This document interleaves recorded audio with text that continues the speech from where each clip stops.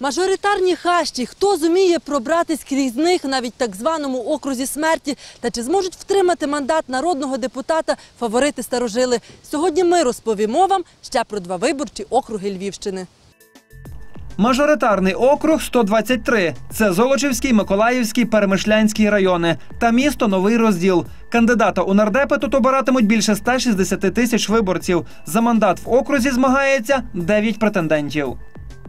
На виборах 2012-го перемогу здобула Лідія Котеляк, випередивши Тараса Батенка та Василя Шкляра.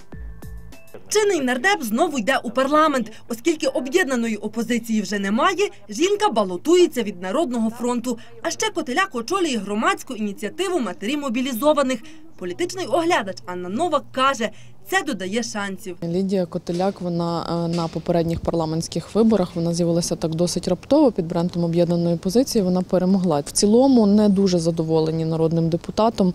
Е, говорять про те, що е, рідко її бачили, рідко зустрічалася із представниками місцевої влади. Е, але в окремих питаннях десь якимсь окремим е, радам вона допомагала. Цього року очікуємо на ремейк. Лідія Котеляк проти Тараса Батенка. Депутат Львівської облради, директор філії магістральні нафтопроводи Дружба уже не самовисуванець. Бренд Героя України Левка Лук'яненка минулого разу не допоміг Батенку отримати мандат. Чи зможе популярність блоку Петра Порошенка допомогти кандидату? Я от страшно поважаю Лук'яненка, але, скажімо, його політична чуйка дуже часто його підводила. Я вважаю, що це вибір між двох зол. Шанси там 50 на 50.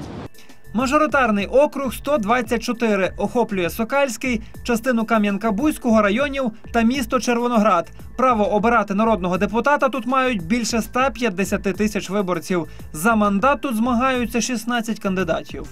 Беззаперечний лідер попередніх парламентських перегонів Степан Курпіль знову балотується у рідному окрузі. Запорука минулої перемоги засновника і багаторічного редактора газети Високий замок бренд Об'єднана опозиція. Конкуруватимуть з Курпілем герой майдану, міністр охорони здоров'я Олег Мусій та кандидат від радикальної партії Ляшка, депутат облради Андрій Корнат. Тому шансів у Курпіля втримати мандат небагато. Не до кінця ем, навіть не справився він із завданням того, щоб вирішити цю проблему доріг е, в окрузі. Хоча е, він був поінформований, що це в принципі пріоритетно е, саме на цій конкретній ділянці.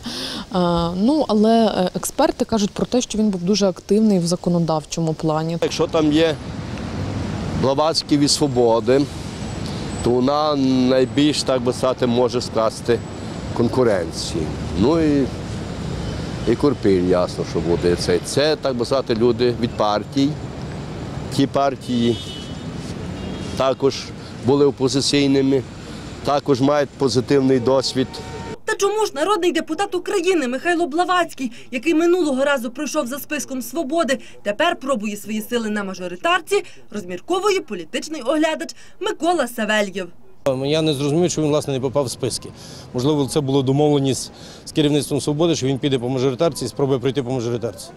Кому ж таки вдасться піднятись на політичний олімп та, отримавши лавровий вінок, не забути про свої обіцянки та обов'язки перед виборцями вирішувати вам уже 26 жовтня. Мар'яна Сич, Олексій Музика, тема дня на Львів. ТБ.